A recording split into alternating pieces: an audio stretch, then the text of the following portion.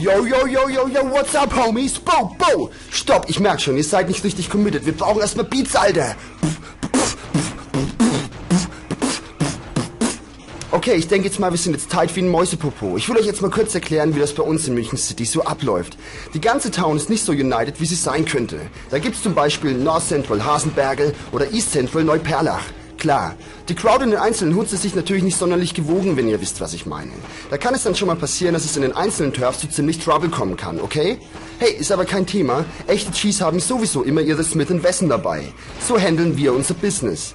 Wenn wir also am Cruisen sind, kann es schon mal zu hammerharten Drive-Bys und Shootouts kommen. Um euch Dogs mal klar zu machen, was da so abgeht, habe ich mir mal die neue Scheibe von Ubisoft gezogen, wo es in der Hauptstadt des Gangster-Daseins mächtig abgeht. Die Rede ist natürlich von den Staaten, ist klar, oder? Das Ding heißt 187 Ride or Die und erscheint für die PS2 und Xbox.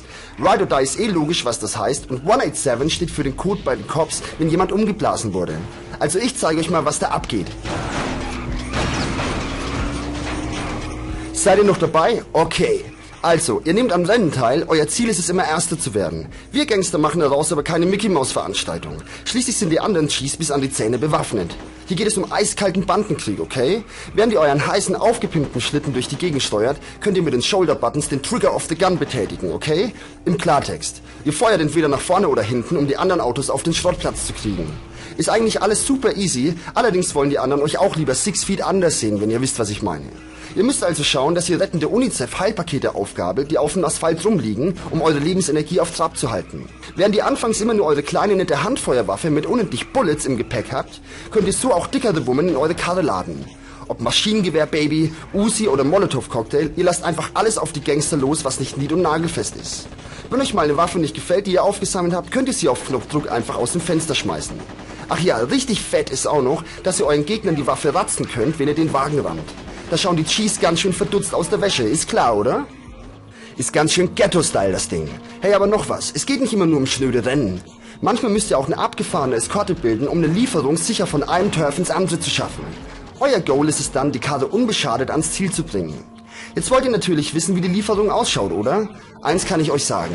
Echte Homies fahren nicht einfach wegen ein bisschen Dough durch die Gegend, okay? Die Missionen, wo ihr ein anderes Pimpmobil eskortieren müsst, sind echt fett. Ihr ballert, was das Zeug hält und habt immer ein wachsames Auge auf den Mann vor euch. Ist deine Lebensenergie am Gefrierpunkt angelangt, müsst ihr nochmal ran, okay?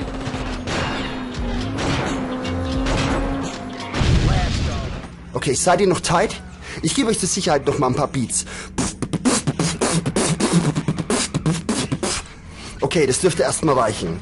Hey Leute, es gibt aber auch noch andere Missionen. Manchmal müsst ihr eine Arena als letzter mit vollem Heartbeat verlassen, okay?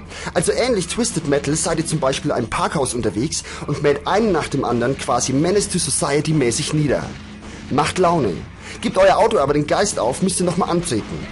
Sind die normalen Rennen echt schon cool, setzen die Arena-Kämpfe nochmal einen drauf. Ich sage euch, das Ding rockt wie Joghurt. Allerdings ist es oft so, dass ihr einfach nur blindlings drauf lostriggert, ein paar blaue Bohnen finden immer ihr Ziel. Da muss man schon ein richtig hochrangiger Cheese sein, um das Auto, den Asphalt und die Wurmen im Griff zu haben.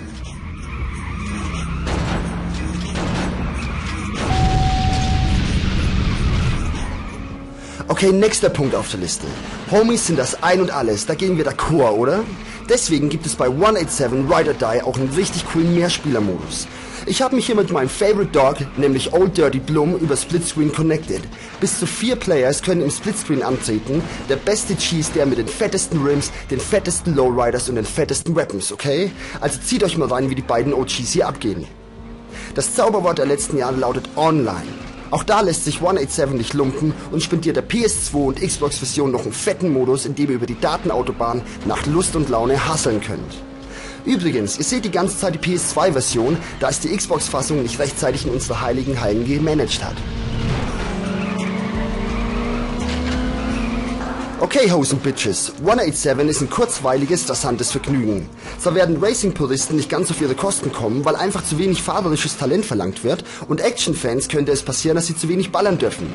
Wer aber einen netten Mix aus beiden Genres haben will, darf zuschlagen. Technisch ist das Ding jetzt zwar nicht ganz der Hammer, ich meine die PS2-Version flimmert stärker, als wenn ihr 5 Liter Boost aus dem Brown Paperback intersettet, dafür läuft das Ding flüssig wie warme Butter. Mächtige Props gehen auch an den Soundtrack, der sich zwar eindeutig an die brennende Mülltonnenfraktion richtet, aber groovt wie eine Flex. Also, wer unkomplizierten Spaß haben will, sollte zugreifen. Ich sage jetzt einfach mal Ende der Übertragung, Homies. Wir sehen uns beim nächsten Mal, okay? Bleibt massiv.